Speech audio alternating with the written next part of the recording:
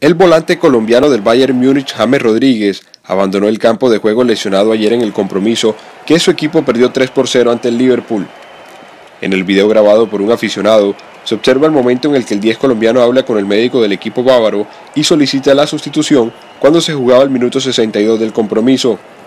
La molestia de James se presentó en la parte posterior de su pierna izquierda y se está a la espera de los resultados a los exámenes médicos practicados en el día de hoy. Miguel Ángel Gallo, elambito.com. In